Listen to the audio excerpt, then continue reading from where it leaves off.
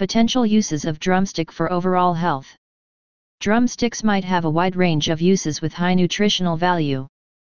Various parts of this plant act as stimulants that might possess various activities employed to help with different diseases in the indigenous systems of medicine, particularly in South Asia.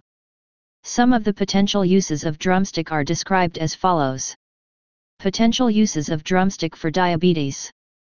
The leaf extract of drumstick might show potential anti-diabetic properties that might help lower blood glucose levels. An animal study showed that the extract of leaves of drumsticks might help reduce the progression of diabetes and may induce a reduction in serum glucose levels by increasing the production of protein and insulin hormone. Another animal study showed that the extract of drumstick leaves might help control glucose levels, urinary sugar, and protein levels, hemoglobin and total protein in the blood. Point 4 However, more studies